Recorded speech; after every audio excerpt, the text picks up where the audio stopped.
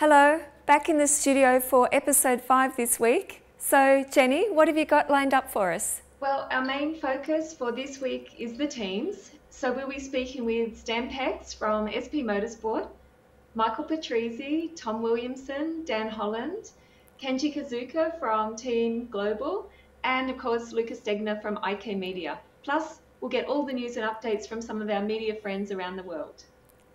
Sounds great. So make sure you're watching this Thursday on YouTube.